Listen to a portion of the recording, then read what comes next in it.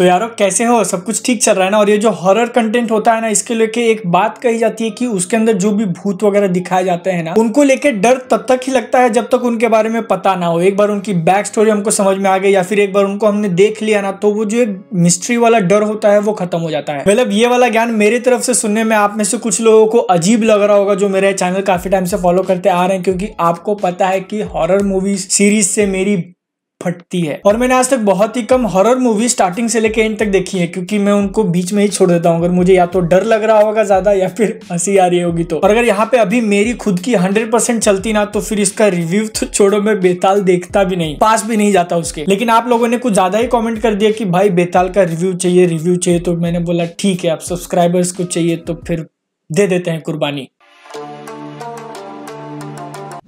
तो अब देखो, सबसे पहली बात ये कि नेटफ्लिक्स के ऊपर ये जो नई सीरीज़ आई है, बेताल नाम की, इसको क्लासिफाई करना थोड़ा मुश्किल है कि इसको हम लोग भूतों की कैटेगरी में डालें या फिर जॉम्बीज की। क्योंकि इसको आपके सामने प्रेजेंट किया गया एक हॉरर सीरीज़ के तौर पे, जिस टाइप का म्यूज़िक वो लोग यूज़ करते हैं, जो लाइटिंग है, जो सेटअप है। वो सारा मेनली आपको डराने के लिए किया गया है, लेकिन इसके अंदर जो मेन विलन है ना, वो सारे जॉम्बीज है। तो देखो, इस मिनी वेब सीरीज़ के कहानी का सेटअप ऐसा है ना कि 1857 में ब्रिटिशर्स एक टनल खोद रहे थे, जो कि वो आधा छोड़ के ही चले गए और उसको अभी पूरा करना है प्रेजेंट डे में। गवर्नमेंट का प्लान है कि वो लोग वहाँ से रोड निकालेंगे और और इस चीज़ को पूरा करने के लिए वहाँ पे एक आर्मी का स्कॉट भेजा जाता है, जिसके अंदर अपने मेन हीरो भी हैं, विक्रम सिरोही। वहाँ जाने के बाद इनको पता चलता है कि वो जगह जो है, वो हॉन्टेड है और उन्होंने गलती कर दी वो सुरंग खोद के। सबसे पहली बात तो ये जो चार एपिसोड की एक मिनी सीरीज़ हमारे सामने लाई गई ना, उसके अंदर जो साउंड डिज़ाइन है, वो कमाल का है। लाइक सच्ची बोल रहा हूँ, इस पूरी की पूरी सीरीज़ के अंदर वो वाला एस्पेक्ट मुझे, मैं इंप्रेस हो गया उससे। उसके बाद जो सिनेमाटोग्राफी थी, जो सेट डिज़ाइन था और जो मेकअप पूरा दिखाया गया ना इस मिनी वेब सीरीज़ के अंदर, वो भी एकदम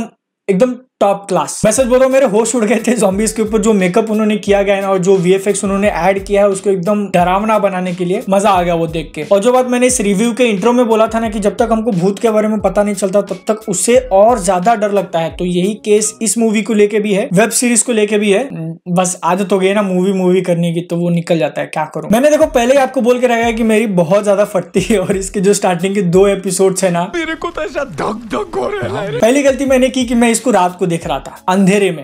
और इसलिए शायद मेरी हिम्मत नहीं हुई कि मैं दो से ज़्यादा एपिसोड देख पाऊँ रात को, इसलिए मैंने ब्रेक लिया। सुबह उठा, जब लाइट हो गई चारों तरफ़, तब जाके लास्ट के दो एपिसोड देखे हैं। और यार, इसको देखते वक्त ना माइंड में एक थॉट आया कि अगर ये हमको थिएटर के अंदर देखने मिलती ना, एक एज अ मूवी वो लोग रिलीज़ करते तो फिर जो हॉरर एस्पेक्ट है ना, उसको देख के तो फट जाती। अभी मैंने पहले क्लियर कर दिया कि मेरी ज़्यादा फटती है तो फिर उस हिसाब से एडजस्ट कर लेना, जो हॉरर एस्पेक्ट है वो। एक्टर्स के परफॉर्मेंसेस मिनी वेब सीरीज़ के अंदर काफ़ी अच्छे थे। विनीत कुमार ने बहुत अच्छा काम किया है। बाकी जो भी लोग सपोर्टिंग कास्ट में है, उनका भी काम सेटिस्फेक्शन के लेवल का था। बस है ना, थोड़ा डिसअपॉइंटमेंट हुआ जितेंद्र जोशी के कैरेक्टर को लेकर मतलब कुछ ज़्यादा अच्छा एक्सपेक्ट कर रहा था मैं। और अब ये सारी बातें होने के बाद हम लोग फोकस करेंगे इस वेब सीरीज़ की स्टोरी के ऊपर। और यहाँ पे थोड़े बहुत प्रॉब्लम्स हैं। देखो, क्योंकि मिनी वेब सीरीज़ सिर्फ़ चार एपिसोड की है ना तो फिर इसके अंदर हमको कैरेक्टर डेवलपमेंट नहीं देखने मिलता, अपने मेन हीरो को छोड़ दे तो। और इसके कारण क्या होता है ना, कोई कैरेक्टर जो मतलब ऑलमोस्ट है ही नहीं सीरीज़ के अंदर, एक दो बार बस बैकग्राउंड में दिखा होगा, वो अचानक से उठ के बोलता है कि हाँ मैं बचपन में बचपन में नहीं मतलब पहले इंजीनियर था, मेरे को ये आता है और मैं प्रॉब्लम का सोल्यूशन निकालने वाला हूँ। इसी के साथ साथ जैसा कि हमको ज़्यादातर हॉरर स्टोरीज के अंदर देखने मिलता है ना, अगर आप इस चीज़ के अंदर भी लॉजिक ढूँढने जाओगे तो शायद आप उतने ज़्यादा सेटिस्फाइड ना हो। और ये वाली जो प्रॉब्लम है ना, वो इसके हॉरर के सेटअप को लेके नहीं है कि मैं ये नहीं बोल रहा हूँ कि इसके अंदर जो भूत दिखा है, ऐसा हो ही नहीं सकता। पहाड़ के ऊपर ऐसा कौन भूत रहता है, वगैरह वगैरह। इसका मैं कुछ प्रॉब्लम नहीं निकाल रहा हूँ। वो सेटअप उन्होंने दिखाया तो ठीक है, मान लेते हैं उसको। लेकिन वो सेटअप करने के बाद उस चीज़ का जिस तरीके से यूज़ किया है ना उन्होंने लाइक एग्ज़ाम्पल के लिए इनका एक कैरेक्टर है स्टोरी के अंदर इनको एक गोल अचीव करना है और वो अचीव करने के बीच में कुछ लोग आ जाते हैं। तो जब इन मोहतरमा के पास गन है तो वो चलाती क्यों नहीं? स्टैचू के जैसे क्यों बैठी रहती है? अब ये तो मैं सिर्फ़ एक एग्ज़ाम्पल के लिए बता रहा था। अगर आप इसी तरह स्टोरी के अंदर लॉजिक ढूँढने जाओगे ना तो फिर शायद आपको उतना ज़्यादा मज़ा नहीं आएगा। बाकी इस मिनी वेब सीरीज़ के अंदर की editing most of the cases में तो बहुत अच्छी है। कुछ कुछ जगहों पे इसकी सिर्फ़ एडिटिंग इतनी अच्छी थी ना कि उसके कारण आपको डर लगेगा। और ओवरऑल बोलू तो फिर हाँ डरावनी तो है। ये मिनी वेब सीरीज़ डरावनी तो है। अगर आप इसको एंटरटेनमेंट के लिए या फिर डरने के लिए देखना चाहते हो ना तो फिर इसके बहुत ज़्यादा चांसेस है कि हाँ ये सक्सेसफुल होगी उसमें। बस है ना देखने से पहले आपको एक छोटा सा टिप दे देता हूँ कि जितना हो सके उतने अच्छे हेडफोन्स यूज़ कर लेना या फिर अगर आप टीवी पे देखना चाहते हो तो फिर आपका साउंड सिस्टम अच्छा चाहिए। क्योंकि जो मैंने बोला ना, इसका साउंड डिज़ाइन इतना कमाल का है कि अगर आप शांति से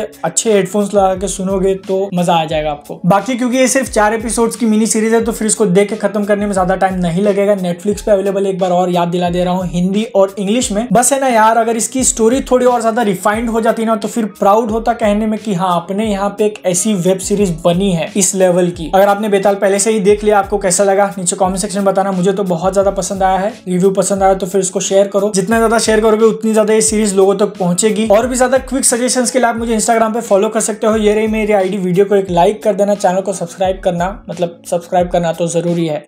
आप है ना मतलब क्या बोलूँ आपको मैं? आप एक वो स्पेशल प्रजाति के हो जो मज़े तो ले लेते हो लेकिन सब्सक्राइब नहीं करते। बहुत मतलब ही हो। बहुत ज़्यादा मतलब उम्मीद करता हूँ कि इतना बोलने के बाद तो कम से कम आप सब्सक्राइब कर ही दोगे। मैं आप सुन लूँगा नेक्स्ट वीडियो तब तक लिए जय हिंद। वंदे मातरम। तो यार, कैसे सब कुछ ठीक चल रहा है? और देखो, भूत